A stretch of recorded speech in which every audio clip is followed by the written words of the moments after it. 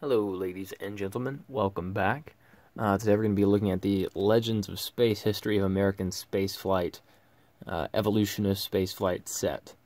Uh, so as you guys can see, pretty neat little set here. We have some uh, scale figures of different influential um, spacecraft and aircraft in, uh, I guess, the space history. So we'll go from left to right. Uh, we have some different X planes. We'll look at these on the back here in a second. We have our Mercury Atlas, we have our Saturn V, our STS, Space Transportation System. Not as it inaccurately says on the back of the package. We'll see that in a second. Gemini, uh, the uh, Atlas II, which has the Gemini capsule on top. We have Mercury Redstone, uh, and a different X plane. I wish I knew the specific one. I can't think of it off the top of my head. And then Orbiter Enterprise. So didn't actually go to space, but they decided to include it because they have the mold. Why not throw it in? At least that's my guess. So as you guys can see from the front, it's made by Echo Toys. Uh, they're based down in Florida, so it kind of makes sense for them to do this because you know they would benefit the most from selling these, probably at a place like Kennedy Space Center and uh, elsewhere. You can pick these up online, but also at different um, space visitor centers, a lot of the NASA official visitor centers, you'll find these same sets. Flip to the bottom, you can see there are different Legends of Space sets. They have the Launch Complex 39, uh, a collective collectible orbiter, which is just the orbiter they have in here, uh, Apollo orbiter, uh, and just different things of that nature. There we go. There's the actual uh, price over here that would have sold for, it uh, retailed for a decent uh, price, in my opinion, because I love having uh, models, no matter how much they lack detail, because these are a good size to fit on the shelf. Display them together, it's really neat. There we go, have another um, set of logos, 10-piece set. Check the bottom, same thing. Let's over to the back. Mercury Redstone has a uh, flight facts on the back. Mercury Atlas, Gemini Titan, Apollo Saturn V, and then the shuttle transport system. We'll go with that. Um, just checking the facts to make sure all these are right. Okay, so we have the X-38. So the X-38, that's so at the uh, our X-37 or our mysterious Air Force space plane is uh, based off of, and it's actually still being used today. Orbiter Enterprise being test flown right there in that picture. X24, number of flights, or number in fleet 3, number of uh, flights 20, 23, it looks like it says. X28 Dyna-Soar, canceled, sadly, but uh, that does look pretty slick, sounds pretty slick. And we have our X15 at the top. So let's go ahead, open this bad boy up. So we have a little tape to fight through. Won't be too difficult. I am indeed wearing a nice and warm robe right now. Don't worry, I have clothes on under it. I'm not doing like a naked video. Ah, okay. I actually enjoy this display. I would think about taping that and just setting it up like this on my shelf. That looks pretty neat on its own, no lie. Um, so we'll go ahead and pull these figures out, take a look at each of them. That is a pretty slick display right there. That's pretty slick.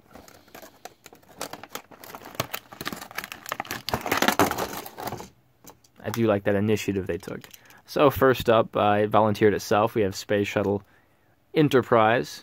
So as you guys know, this one would not have the heat tiles on the bottom, and uh, it was just uh, used in drop test. And this one actually could uh, take off on its own. It did have the jet engines and was capable of its own flight. So pretty neat.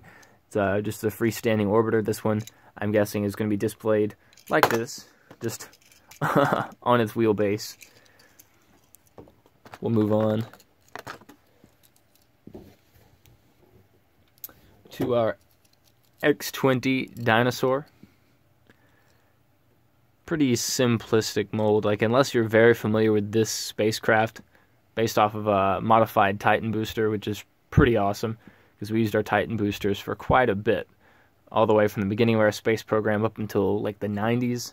Now I believe our Delta II is still based off of that technology, so very neat stuff. Now we'll go over here. We'll mess with our Mercury Redstone.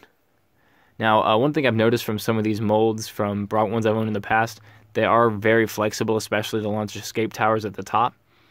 Uh, and um, I don't know, but overall, for what you're paying for it, what's included, it's pretty nice. I just wouldn't recommend putting it in your pocket and expecting it to stay in the same shape, which I've done. Let's go ahead and go just chronological. Let's go to the uh, Mercury Atlas.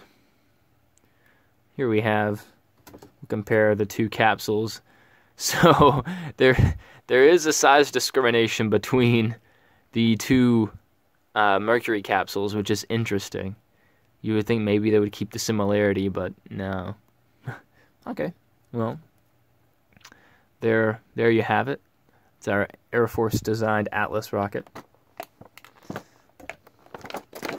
And we'll go with the Gemini Atlas. We got the four booster cluster, and at the top we have our Gemini capsule. Pretty neat. We have United States markings on the side. There are no Air, Air Force or NASA markings, which, depending on which Gemini you have, or uh, which Atlas you have, I should say, because consider it is an ICBM uh, booster. Pretty neat. You can see that one has a little curvature to itself, which kind of proves the Earth isn't flat. It's a lot of sarcasm right there. We have our X-15. Pretty neat. This one actually does have some markings on it, which are awesome. U.S. Air Force, we have the abbreviation, and then NASA on the back. Not bad. It again has the little plastic wheels, so if you do, for some reason, um, want to roll these around, hey, go for it. Jump over here to our X38.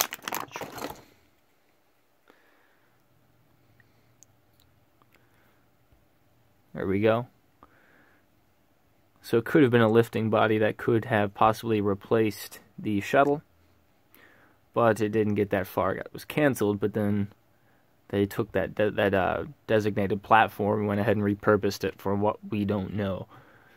We haven't we don't know much about the uh, X37 what they use it for. Or whatever they call that little guy, X-37B. Anyway, pretty neat. Had the little NASA logo. It's the inside of the meatball logo. Have our United States flag flying into the wind. Well, this side at least. This side, uh, I have it backwards.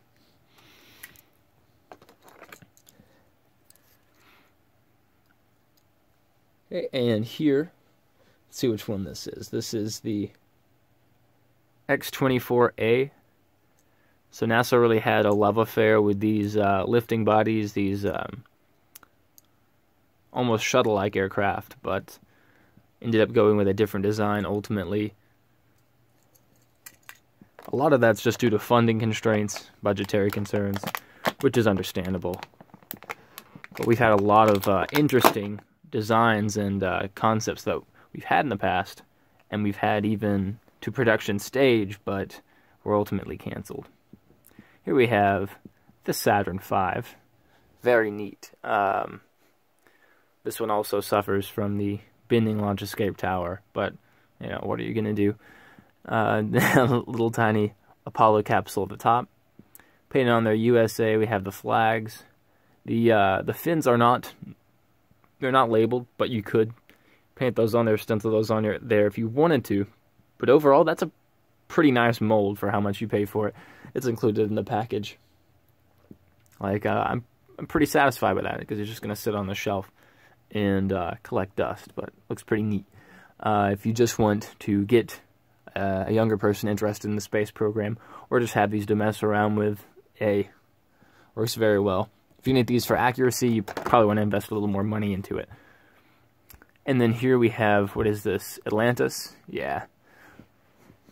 So we have uh, Space Shuttle Atlantis in its uh, shuttle stack configuration. So we have the external tank, the two, the one SRB.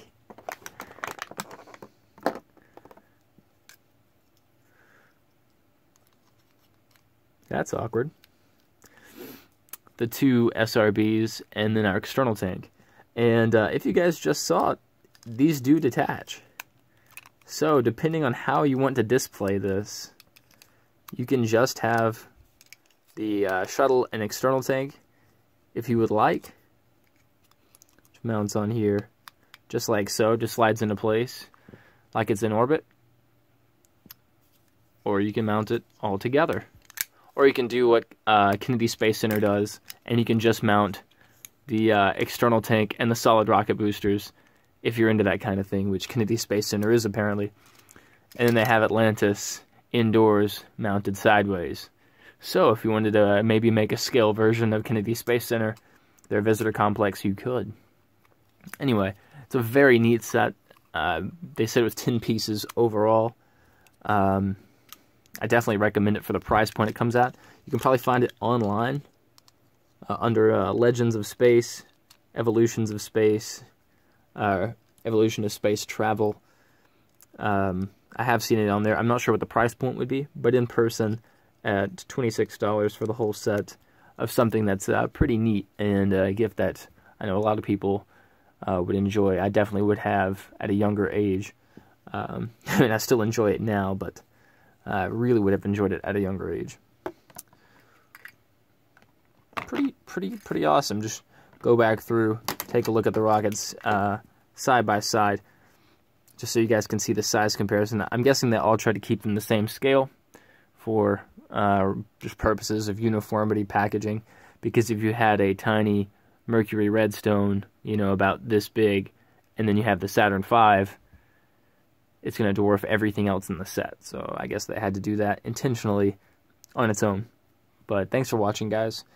Uh, if you guys have any questions about anything, anything I can cover more in depth, any answers, uh, any questions that I can possibly answer, go ahead and ask um, in the comments or however else you guys can get a hold of me.